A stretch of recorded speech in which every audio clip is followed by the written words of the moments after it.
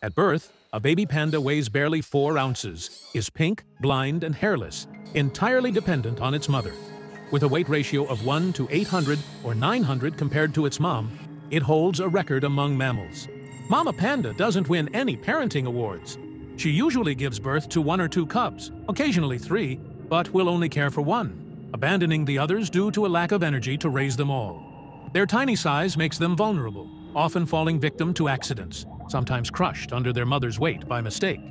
In captivity, zoos discreetly alternate the cubs, tricking the mother into caring for both. This is made easier because mama is often happy to swap her cub for a snack. As for the rumor that pandas have a reproduction problem, it's entirely false. An animal unable to reproduce would have gone extinct long ago. Pandas reproduce just fine in the wild, but artificial zoo conditions often complicate things.